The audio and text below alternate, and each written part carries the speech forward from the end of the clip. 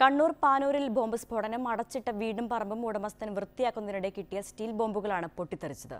ആളപായമില്ല Chokli police അന്വേഷണം തുടങ്ങി.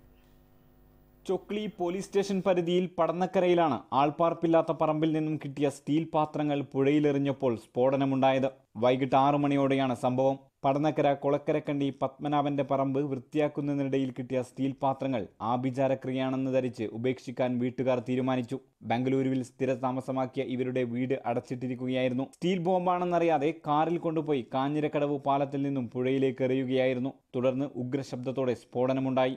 ശബ്ദം കേട്ട നാട്ടുകാർ കൂട്ടത്തോടെ പുഴയോരത്തെത്തുകയായിരുന്നു. വിവരം ലഭിച്ചതിനെ തുടർന്ന് ചൊക്ലി പോലീസും സംഭവസ്ഥലത്തെത്തി അന്വേഷണം ആരംഭിച്ചു. വാഹനത്തിൽ വെച്ച് ബോംബ് പൊട്ടാതിരുന്നത് വൻ ദുരന്തം ഒഴിവാക്കി ബംഗളൂരുവിൽ സ്ഥിരതാമസമാക്കിയ രമേശ് ബാബുവിന്റെതാണ് വീടും സ്ഥലവും.